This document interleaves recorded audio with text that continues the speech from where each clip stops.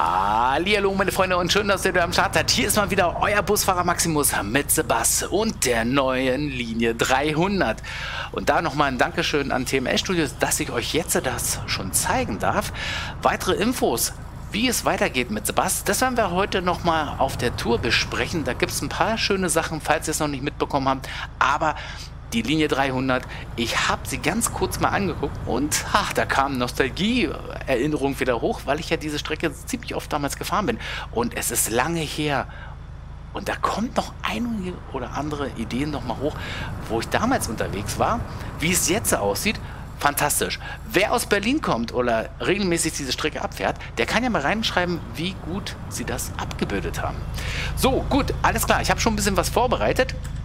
Ich werde jetzt in den Bus steigen und dann werden wir gemütlich losfahren. Und ich muss sagen, es sieht schon echt nicht schlecht aus. Ja, wirklich sehr, sehr hübsch. So. Achso, wir haben die Feststellbremse noch an. Türfreigabe. Klimaanlage. So, jetzt können wir losfahren. Gut, alles klar. In der Gegend war ich früher sehr oft unterwegs und ich muss sagen, ey, was hat sich hier in Berlin getan?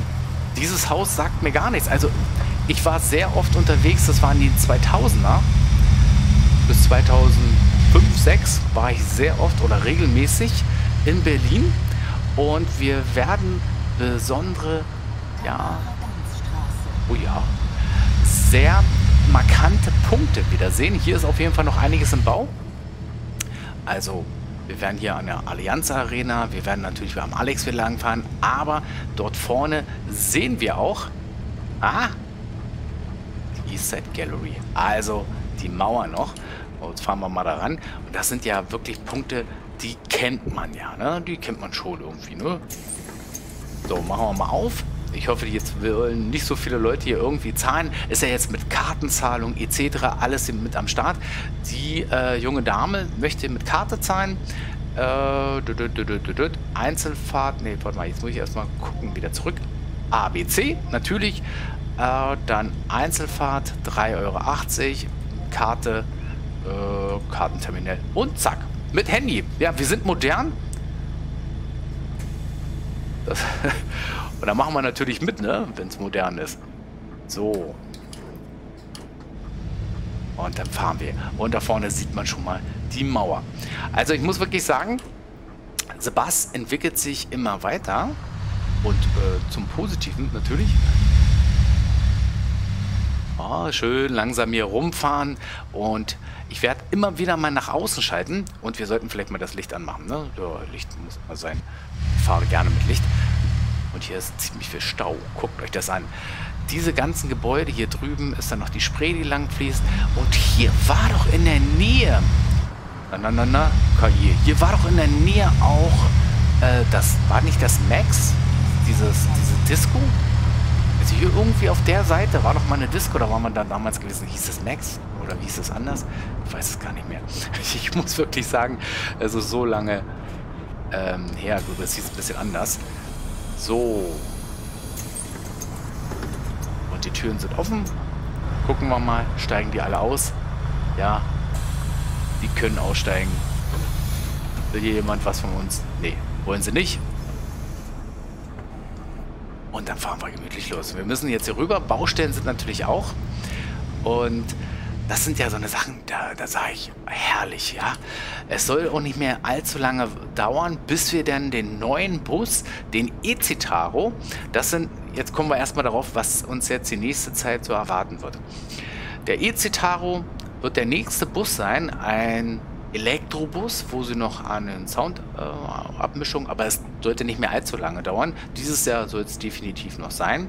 Ob wir den Bus mit Mercedes-Stern bekommen oder nicht, irgendwo hatte ich mal auf einer gewissen Thumbnail mal gesehen, da war Mercedes-Stern gewesen. Aber da sind noch Gespräche etc.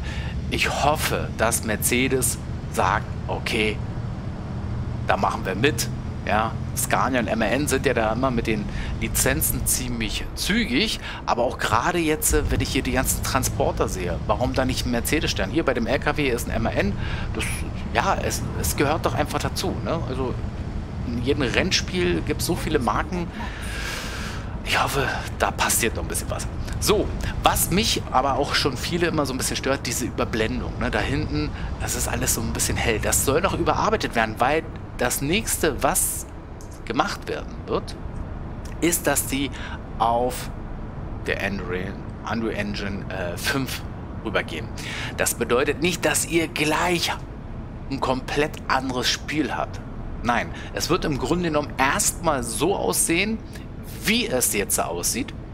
Ja, vielleicht ein paar Verbesserungen. Es wird ein neues Physiksystem sein für die Fahrzeuge.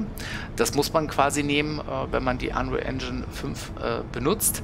Also die Physik wird dann auf jeden Fall noch verändert.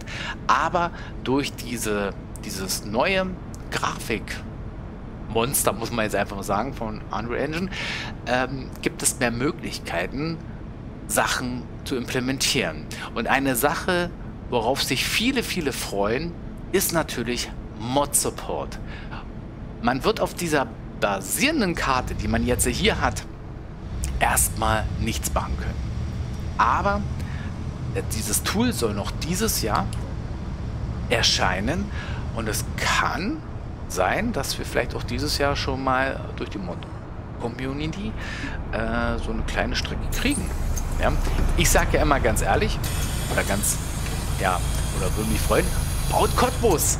Ja, das wäre total lustig, wenn jemand dann ähm, ja, versucht, Cottbus irgendwie nachzubauen. Da würde ich mich absolut freuen. Das soll sein, man, äh, die versuchen auch mit dieser Strecke hier, ist mit dem gleichen Tool produziert oder erschaffen worden, was die Community nutzen kann. Ähm, also die Straßen, da haben sie ja schon mal ein Tutorial, ich habe es mir mal angeguckt.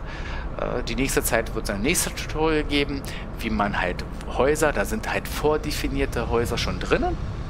Jetzt, sind wir, jetzt fahren wir erstmal zum Ostbahnhof, ne, so Informationen. S-Bahnhof, Ostbahnhof. Richtig, ab zum Ostbahnhof. Äh, vor drei Jahren war ich das letzte Mal, glaube ich, hier, ne, Ostbahnhof, oder vor zwei Jahren. Er hat mal Dienst hier Veranstaltung, gesellige Art. Ja, da sind wir mit dem Zug gefahren. Und dann waren wir hier hinten irgendwo. So, die Volkspolizei steht natürlich auch da. Wäre doch cool, wenn jetzt hier ein Mercedes-Stern da oben wäre, ne? Auf den äh, Sprintern. Wenn die Hundertschaft hier einrückt, ne? Weil sie wer in der, äh, sehe ich, irgendwas gemacht hat hier, ne? oh. Jetzt kommen sie alle. Hier ist ja ordentlich was los. Meine Güte. Und man kann aber selber auch Assets reinladen und und und. Das soll alles funktionieren. Äh, jetzt will eine Ina Bar hier bezahlen, ey. Was ist denn hier los, ey? Ähm, zurück. Nee, äh, wo war das nochmal?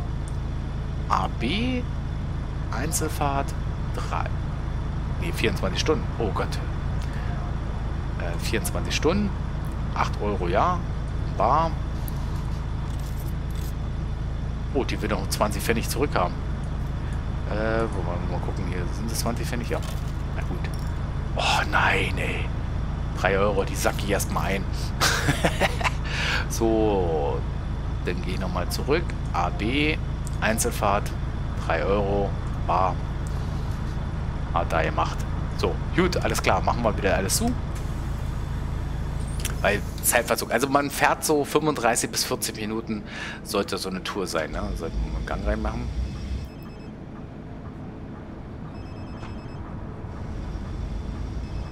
Feststellbremse drin? Achso, äh, ich habe hier irgendwo noch eine Freigabe drin gehabt. So. Und da vorne sieht man schon den Berliner äh, Fernsehturm. Also man sieht schon markante Stellen. Wir schalten mal nochmal nach außen, dass ihr da auch ein bisschen was seht. Alles können sie natürlich nicht. Wenn jetzt äh, zum Beispiel eine neue Baustelle oder vor einem halben Jahr, das können sie natürlich nicht alles hier reinmachen. Ne? Das ist ja klar irgendwo muss man dann sagen, an dem, dem Zeitpunkt ist das gut. So, jetzt haben wir hier einen Passatfahrer. Das war nicht Maximus. Man muss sagen, ja, die KI macht hier so ein bisschen seins. Ne? Also, die äh, nehmen da nicht ganz so viel Rücksicht auf den Bus. Ich glaube, da würde ein Busfahrer hier von der BVG ein bisschen anders agieren. Ne? Da würde er erstmal ordentlich die Hupe drücken. Sind wir eigentlich schon zu spät, ey? So, dann raus mit euch. So, ich will nicht, dass ich euch irgendwas bezahlen muss. So, Türen zu. Und das ist alles noch eine Vorab, ja. Dieses gilt natürlich immer unter Vorbehalt. Da kann immer wieder was passieren bei so einer Vorabversion. Ja. Und falls ihr irgendwelche Probleme oder Fehler habt, dann bitte macht ein Bult oder erklärt das und schreibt es dann in TML, wenn euch irgendwas aufgefallen ist. Ich habe hier zum Beispiel ja, die KI, die braucht hier Ewigkeiten. Wir sind jetzt einfach mal so frei. Die stehen jetzt alle hier auf der Seite.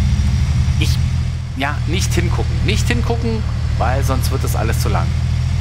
Ja, ich will jetzt auch nicht 100 Stunden hier lang fahren. Ne? Also, so, gut, haben wir gestartet. Das sagt mir auch noch was, diese Totaltankstelle mit dieser Waschanlage. Und guckt euch an, jetzt fahren wir gleich Richtung Alexanderplatz. Oh, sieht das nicht schön aus? Herrlich. Ach. So. Witzmannstraße. So, machen wir erstmal hier über die große Kreuzung. Hier überall noch diese Rohre, die dann quasi äh, die Baustellen versorgen. Ich muss sagen, ich hatte doch grün, ne? Ach, der war bestimmt beim Abbiegen. Ja. Er hat doch gesehen. Aber auch hier, die, die äh, großen Häuser, ne? Die Plattenbauhäuser. Also ich glaube schon, dass sie es hier sehr gut rübergebracht haben. Äh, erstmal. Ja, ihr könnt euch natürlich wieder lustig machen, dass der Maximus den anderen da mh, hm, von der Straße geholt hat. Aber ich finde es nicht schlecht, wenn jetzt irgendwo eine Kollision ist, dass sie halt die Autos dann irgendwo... Oh, warte mal. Hier wird doch eine drin. Kannst du nicht ein bisschen früher kommen? Ich habe keine Zeit. So, haben wir die Türen hier zu? Alle? Ja.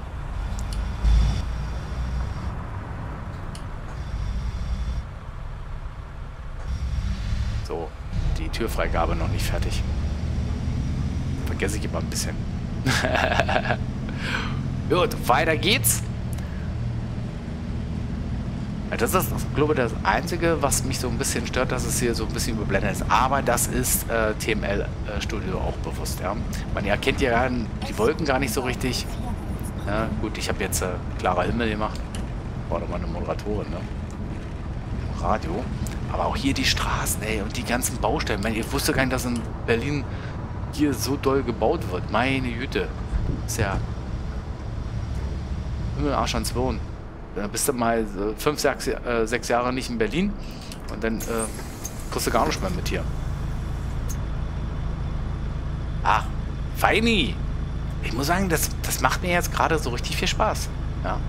Und gerade wenn dann auch wirklich das mit den Mods, mit den ganzen Supportern alles irgendwann mal kommt, oh, wie schön ist das. Und dann Fahrzeuge oder Werbung mit den, hier zum Beispiel die ähm, Müllabfuhr, dass dann halt die originale Werbung oder die Logos von den Fahrzeugen drin ist. Das ähm, soll ja dann alles äh, so funktionieren. Ja. Und vielleicht gibt es ja auch Verschmutzung äh, von den Fahrzeugen. Man muss die waschen, sonst kriegt man keine Aufträge. Ja, ist jetzt ein bisschen Quatsch gesagt, aber so. Ja, habt ihr gesehen da oben in den, ähm, wo die ausgestiegen sind, das hatten wir schon mal, dass die dann ähm, noch so im Sitzen dann aufstehen. So. Muss erstmal überlegen. Ja, wir können jetzt weiterfahren. Die Polizei ist da. Gut. Kann euch ja noch mal ganz kurz zeigen. Wir sind jetzt hier, wir sind hier vorne, sind wir losgefahren und müssen bis dorthin. Ja, den Bereich, den kennen wir. Den könnten wir eigentlich auch überspringen. Das würde ich jetzt eigentlich mal machen, dass ich dann einfach dann äh, Pause mache, den Bereich, den wir so kennen. Und dann ähm, ab dem, unter, nö, ab hier, oder? Unter den Linden, Ja, unter den Linden können wir dann, ja, genau, unter den Linden würde ich dann, wenn wir hier sind, Alexanderplatz, dann mache ich dann kurz mal eine Pause, sonst wird es eindeutig zu lang.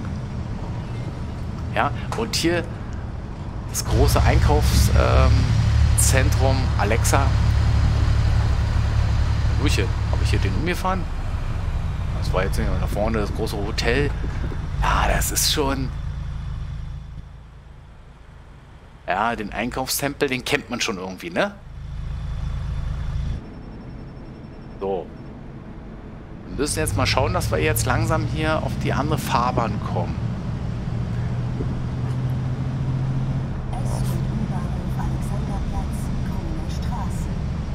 Ja, ja, ja, ja. So. Cruisen wir mal hier rum.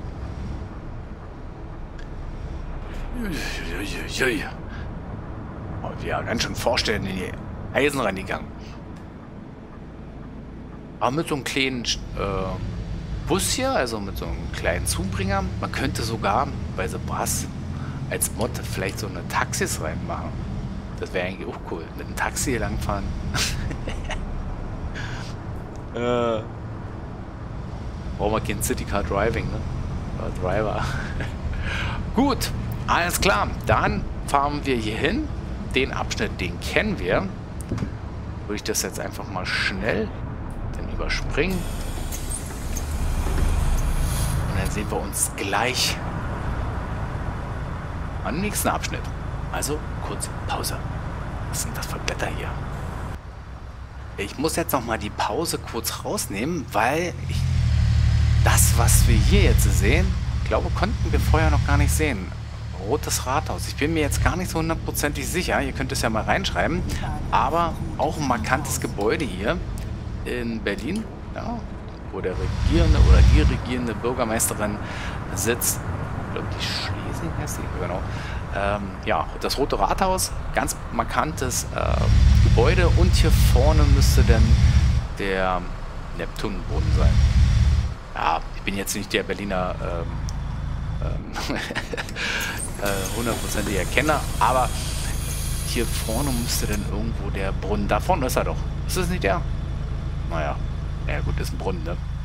Gut, kennen wir. Gut, sieht doch gut aus, ne?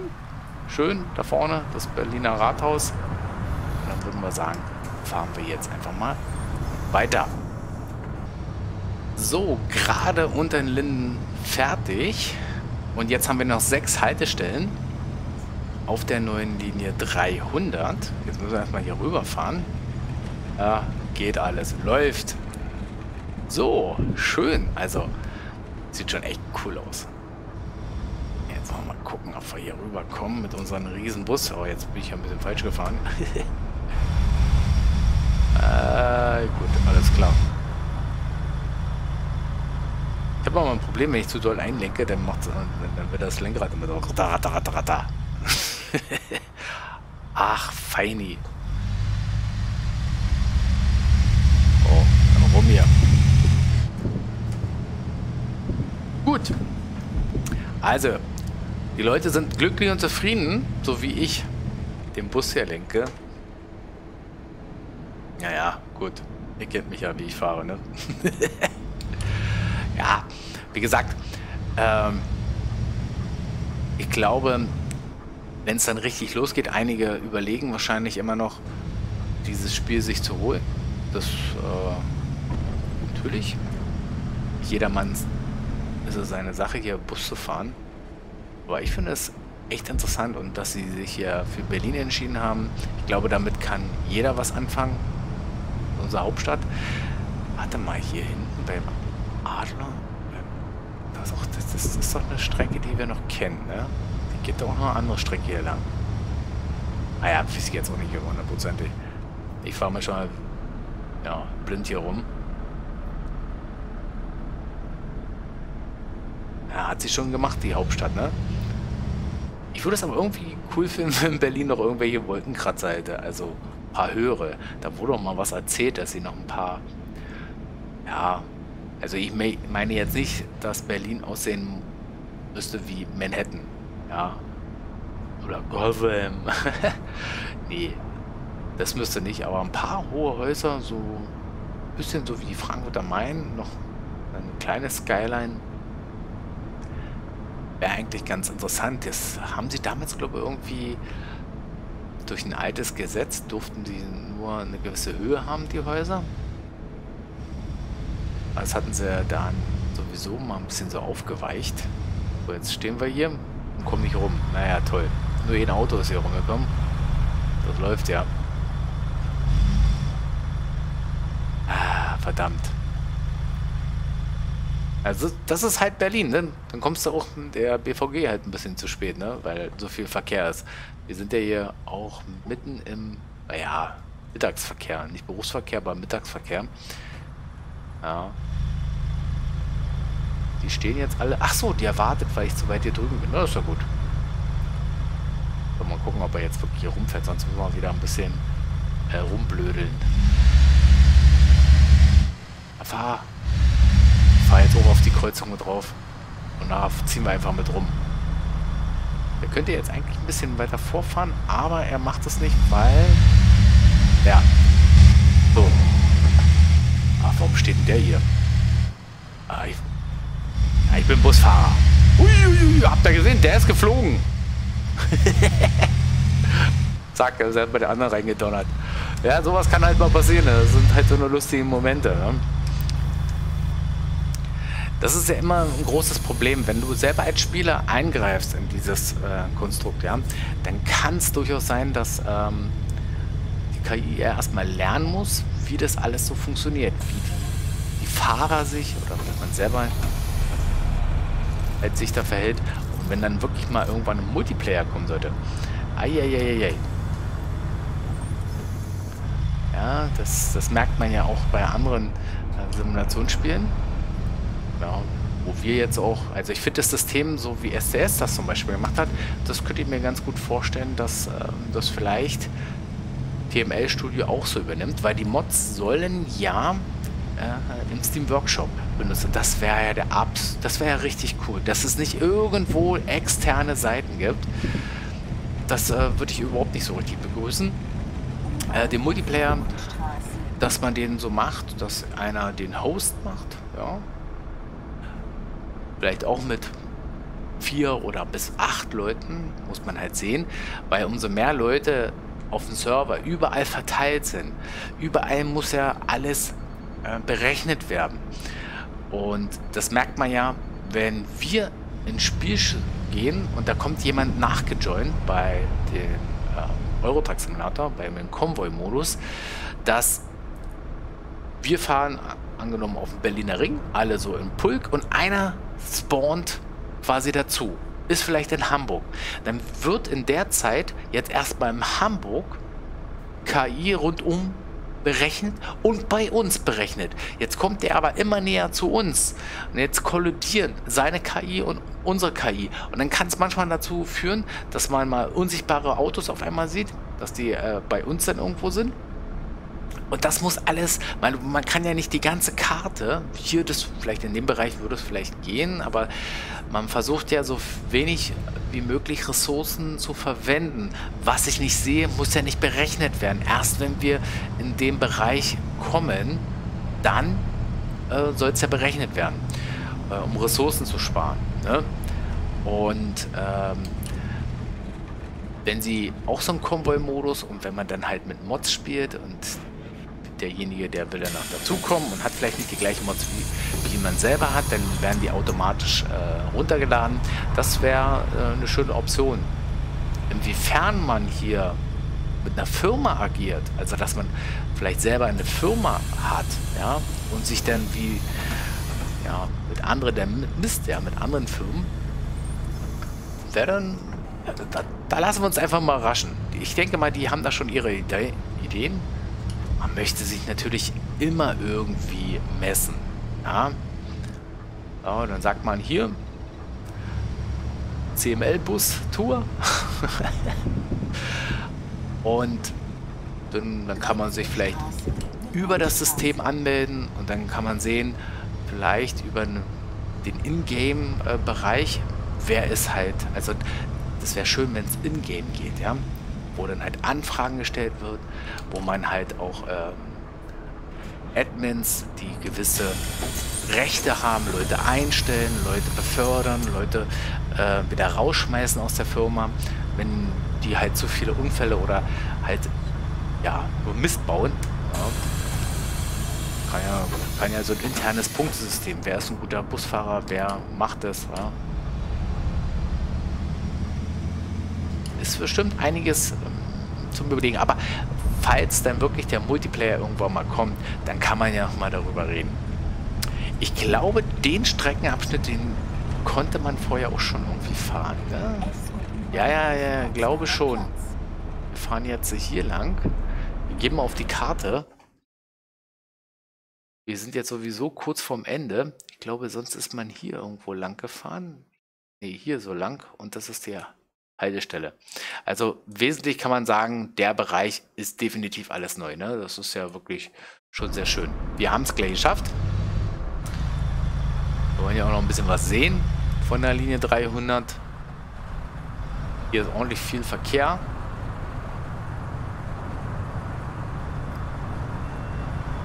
Ah, und dann könnt ihr selber dann irgendwann anfangen, neue Strecken zu bauen. Ich bin ja echt gespannt. Ja.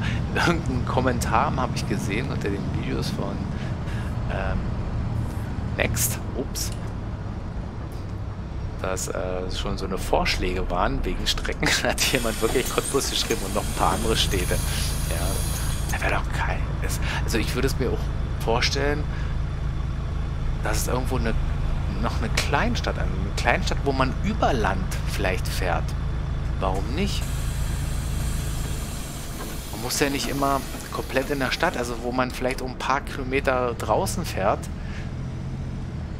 Ja, 10 Kilometer draußen über irgendwelche, so eine kleinen Dörfer, wo man halt ähm, ja, kleine Gemeinden hat und man fährt dann halt einen Schulbus oder sonstige Sachen. Dann, dann nimmt man halt so einen, so einen kleinen Bus mit äh, School, was weiß ich, einen Schulbus also das würde ich definitiv auch für... Ey, man hat schon einige Möglichkeiten. So. Und hier diese neuen Anzeigen hier oben, die sind natürlich auch cool, ne? Ja, da steht Linie 300 Süd. Das sind wir. Wir sind, sind wir pünktlich angekommen? Ich weiß gar nicht, sind wir pünktlich? Ja, ja, glaube, wir sind pünktlich. Naja, es was, was anderes ist ja auch nicht zu erwarten gewesen, ne? Also. Und da vorne müsste jetzt die Endhaltestelle sein. Ja, ich denke mal. Aber wir fahren ein bisschen zu schnell, ne? Ja, wir sind Busfahrer von der BVG, da, da, kann man schon mal ein bisschen zügiger fahren. So, jetzt haben wir natürlich das Problem, wir müssen hier rüberfahren. Aber wenn es wirklich Multiplayer gibt, ja, dann sollte es auch irgendwo einen kleinen Charakter-Editor geben, wo man seinen Charakter ähm, so anpassen kann. Also eine Kleinigkeit. Ich will jetzt nicht übertreiben. Vielleicht so wie beim, so eine Art wie bei dem Bausimulator, vordefinierte ähm, Bereiche, vielleicht auch durch Mods. Ja. Ich finde auch manchmal nicht schlecht, wenn man zum Beispiel Busse hat, wenn man vielleicht gerade für die Mod-Community so ein Showroom, wo man verschiedene Hintergründe reinmacht. Wisst ihr, was ich meine? Es gibt ja manche Autorennspiele, wo ihr das Auto habt und dann du beim, äh, wie heißt das, Gran, Gran Turismo, da gibt es dann halt auch sowas, wo man dann andere Hintergründe einpflegen könnte. Das wäre eigentlich auch cool, ne? Schöner Hintergrund mit Bäumen, Trees oder halt ein Sonnenuntergang. Ja, auch fühlen. So, ja, das war jetzt die Linie 300. Ähm... Die sind wir jetzt abgefahren. Jetzt ist nur noch Betriebsfahrt. Die anderen stehen hier. Also ich muss wirklich sagen, äh, man fährt natürlich immer wieder mal Linie 100, Linie 200 immer mal ein paar Abschnitte mit.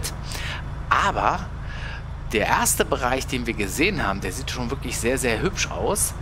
Und freue mich auf den nächsten Bus, also den E-Bus. Und natürlich, wie es mit dem Spiel weitergeht.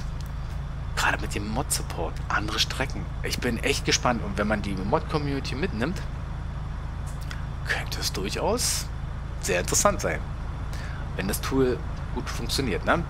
Also, mir hat Spaß gemacht. Wenn man das noch mit der Helligkeit hier irgendwie noch so ein bisschen hinkriegt, dass es nicht so hell wirkt, dann ist alles ähm, easy peasy. Dann mit der Unreal Engine 5 wird man das vielleicht alles so hinkriegen. Ja, aber das wissen Sie. Da, TML Studio. Erst auch nochmal danke, dass ich euch das zeigen darf. Falls euch das interessiert hat oder euch äh, die Mitfahrt mit mir als Busfahrer Maximus gefallen hat, dann könnt ihr gerne ein Däumchen geben. Für alle, die noch nicht abonniert haben, könnt gerne ein Abo da lassen für weitere Folgen. Sebas würde ich mich auf jeden Fall freuen. So, mit den Worten sehen wir uns heute Abend. Nicht vergessen, ja, heute Abend bin ich wieder live.